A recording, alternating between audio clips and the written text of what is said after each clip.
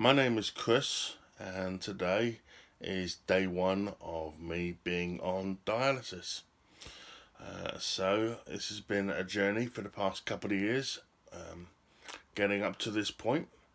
And today I finally start hemodialysis at hospital. Um, but I've no idea what this is going to feel like. Uh, I understand what the mechanics are, exactly what it is they're going to do to me exactly what's going to happen. Um, but I've no idea how I'm going to feel. Um, I've no idea how I, whether it would make me feel any better, the way I currently feel physically inside, uh, whether I'm going to feel tired or sick. Um, and I know that I've searched online and not found many resources that of people telling me this. So I thought this might be a good experience to record and hopefully some of you viewers who may yourself be in pre-dialysis or starting dialysis or have just learnt that you have chronic kidney disease and want to learn a little bit more about what the future may hold will find my experiences useful. Um, so this will be the first of a set of videos and we'll go through the whole process over the next few videos and talk about what's gone on in the past and what's led me here but at this point, this is it. Uh, off to hospital I go, and let's. Uh, I'll see you there. So I assume you've been introduced to hemodialysis by your renal team and it's been decided that this is the right course for you. So this is a dialysis machine, this is a stock photo and these things look like they're better suited to a science fiction novel uh, with all the tubes coming out everywhere um, but really, the basics is that this does the job of your kidneys, but does it uh, while the blood is outside the body. Um, and I'm not going to go into the mechanics of it at this stage because I assume that's been done. Uh, but if you would like me to, um, drop me a note in a comment. In fact, if there's anything you'd like me to cover, drop me a note in the comments and I'll endeavour to cover them as best I can. But in the meantime, back to what happened next, or didn't? Well, I made it to the ward ready for my dialysis, um, but it looks like uh, won't be today because they can't find my vein. Um, I'll explain that one because of the type of fistula that I have uh, in a later video, but um, we'll be back with a later attempt uh, sometime in the next couple of days.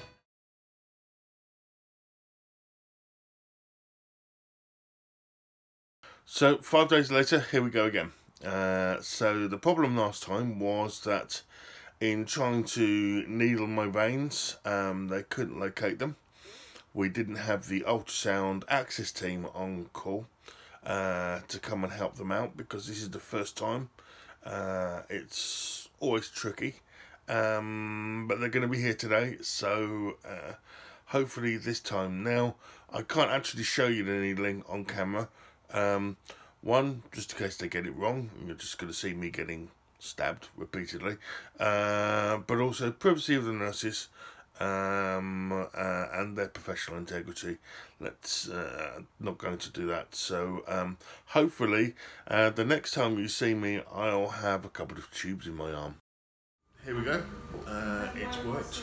Uh, as you can see, uh, the tubes in my arm uh, successfully managed to needle me and I've been on this machine now for just over half an hour. Um, I'll be on for a total of two hours today. Um, they will increase that gradually with future sessions, um, eventually up to as much as four hours if needs be. Um, what does it feel like? Doesn't feel of anything really, um, apart from the very sharp needles um, which I don't like. I'm not a needle person, I'm a big boss. Um, but at the moment it feels fine. They said that I might expect to feel maybe perhaps a little bit nauseous, but we'll see. At the moment I'm okay. Uh, I've been given a sandwich, um, nice tuna mayonnaise sandwich, good to the NHS and a cup of tea. Um, so, so far so good. So, um, yeah, see how I get on and uh, speak to you at the end. So, uh, spoke too soon. Uh, things were going well, but not long after I'd finished that video, um, machine alarm, and uh, I'd had what they've called a blow. Um, this is apparently quite common for new dialysis patients um, and it just pops. So um, uh, this happens. Um, they've stopped it for now after an hour, lost a litre of fluid.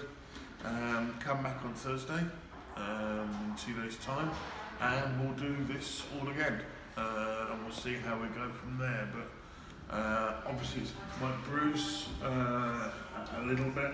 Um, there's some cream uh, to apply for that, and we'll see how that goes. Um, so, but so far so good. Um, doesn't really hurt that much. Don't really feel too sick. So we'll see how we get on. So here I am back home. It's a few hours after I finished my dialysis.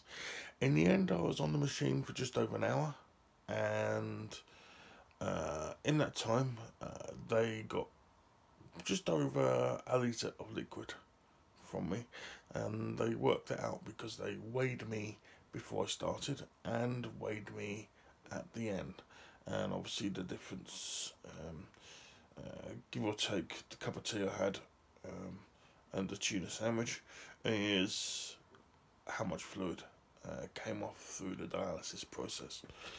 Um, on the whole, I feel not tremendously different. I had a little bit of a headache, um, and apparently that's fairly normal. Um, I was also quite hungry, which perhaps is a good sign because my appetite has been um, quite suppressed uh, in the end stages um, up to now. So um, we'll see how I get on tomorrow, um, and then the day after that, I am back again for my next dialysis session. Hopefully, I'll stay in the machine longer and I'll let you know how we get on. In the meantime, if you want to leave any comments, if you've got any specific questions, um, please drop them in the fields and uh, I'll see what I can do for you. Okay, take care.